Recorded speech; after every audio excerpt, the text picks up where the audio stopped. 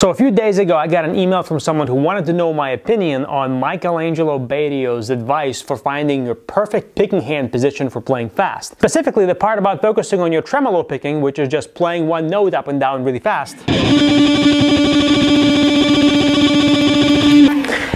According to Michael Angelo, whatever hand position you're in when you're doing your tremolo picking, whatever motion you use to do your fastest tremolo picking is the exact hand position and the exact motion you should use for all of your picking licks. Now, I've actually never seen the Speed Kills instructional video all the way through, and I had no desire to even do that up until the moment when the person emailed me about this picking hand issue, because I gotta tell you, this advice made absolutely no sense to me at all for reasons I'll get into in just a little bit.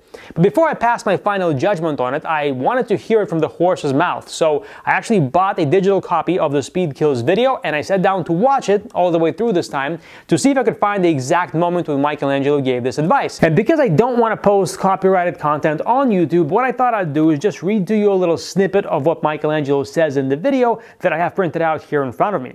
And by the way, if you don't believe what I'm saying, just go out and buy yourself a copy of Speed Kills. It's only like 20 bucks so you can verify for yourself that what I'm saying is true. Anyway, so it's 7 minutes and 8 seconds in the video, Michael Angelo says the following.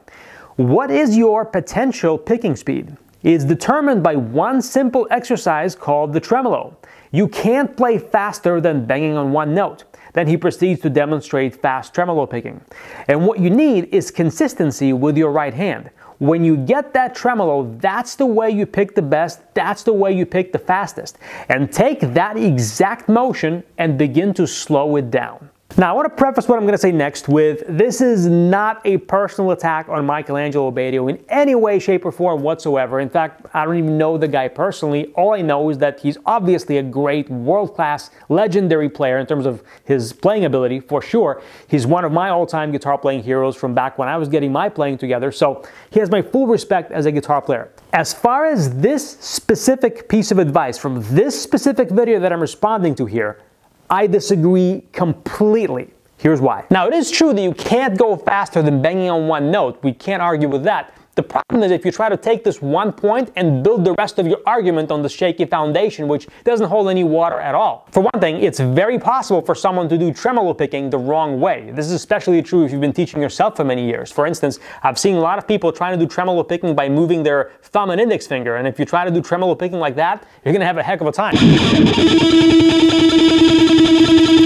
Yeah, good luck trying to do that fast. And it doesn't matter that your tremolo picking speed may always be faster or even much faster than your other techniques, because if we're talking about your true potential picking speed, we have to start with the assumption that your technique, hand position, and motions are correct to begin with. And if they're not, then the argument just falls apart completely. So unless your tremolo picking is spot on, then all you have is just slow tremolo picking that just happens to be faster than the rest of your slow and sloppy playing. And that's about as impressive as being able to afford the most expensive thing on a McDonald's menu. The second big problem I have with this advice is when you're doing tremolo picking, your pick is moving with artificial efficiency. That's precisely because you're doing tremolo picking or just banging on one note, you can lock your entire hand in position that's going to be most ideal to move the pick as little as possible. So when you do tremolo picking, the pick can and should be staying as close as possible to the string. But you can't apply that efficiency to any of your other picking techniques. The moment you try to change strings, you have to use a whole different set of motions with the wrist, whole different set of motions with the arm, and that's just to play a simple scale where you're changing to adjacent strings. But if you're trying to do inside picking, string skipping, or any type of legato in combination with picking, forget about it. Your tremolo picking efficiency simply doesn't transfer. So even if your tremolo picking technique is textbook perfect, and even if your tremolo picking top speed is the fastest, absolute highest maximum potential picking speed, you would never be able to apply much of that efficiency in the rest of your playing. And finally, Michael says that mastering tremolo picking is the single most important thing you can do if you want to play lightning fast. I beg to differ because if you've been watching my channel for any length of time, you've heard me say many times that speed is a byproduct of many things coming together. There isn't any one thing you can do that's going to be the magic bullet to building a lot of speed for you. The more time you spend practicing your tremolo picking, the less time you have left to work on all the other building blocks of guitar speed. You know, things like two-hand synchronization, picking hand articulation, excess string noise control, playing in time, string changes, string skipping, hearing notes at higher tempos before you play them. Shrimp and potatoes, shrimp burger, shrimp sandwich. That's that's about it.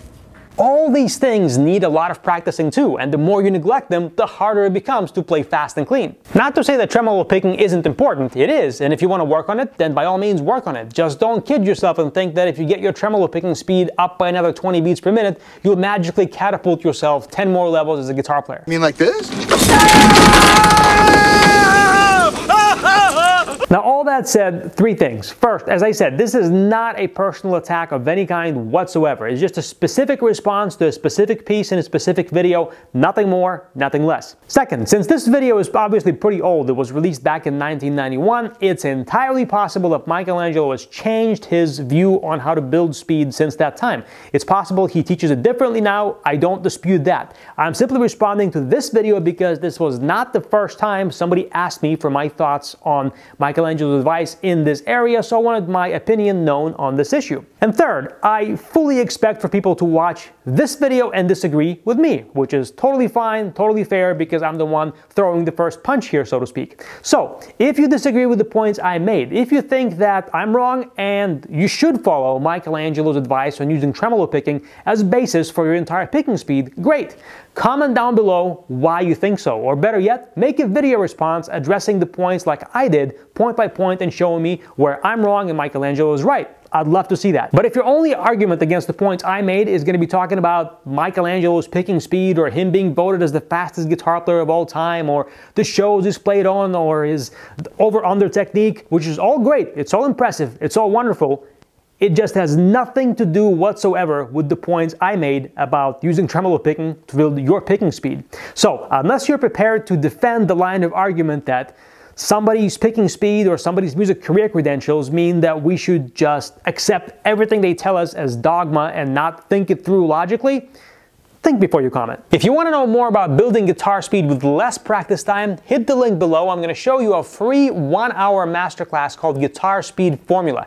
There I'll walk you through a step-by-step -step process of how to build guitar speed without doing any slow practice. It's a pretty innovative guitar practice approach you've probably never seen before, but if you do what I tell you for 10, 15, 20 minutes, you can often surprise yourself by how quickly your speed begins to increase. If you want to check it out, hit the link below, enter your email address, I'll send it right over to you. If you like this this video, hit the like button, subscribe to this channel, and also hit the bell so you're notified every time I upload a new video just like this for you. This is Mike Philippov, guitar practice expert from PracticeGuitarNow.com. I'll see you next time.